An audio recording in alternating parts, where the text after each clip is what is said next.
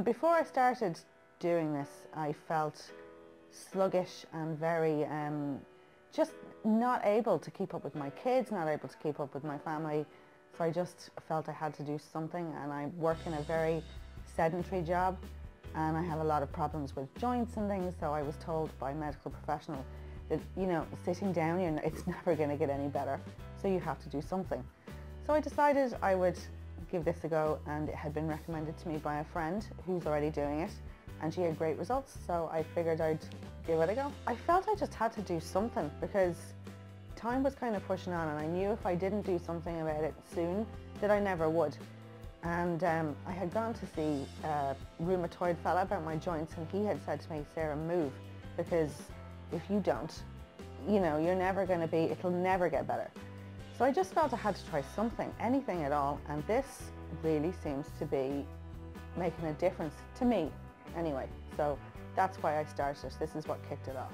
I've seen good results. When I did my review, I, I was very surprised at the results that I got.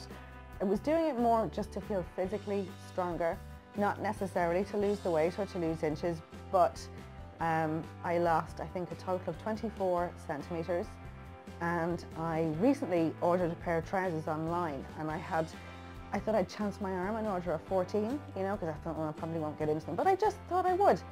And um, I tried them on yesterday and they fit and I was like wow you know now I see a difference. Now I see a difference. So yeah I'm really unexpectedly pleased with the results yes.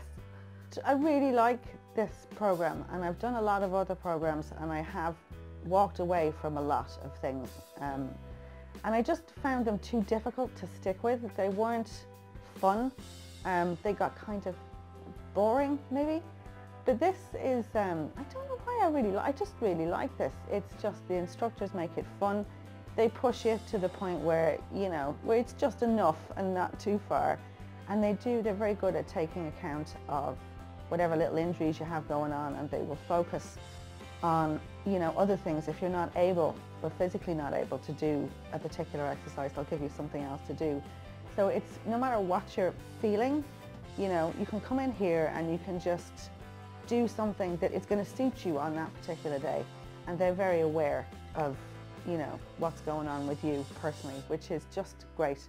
So no, I love it and um, I think I will certainly be sticking with this. I would say just try it and I think you will probably stay.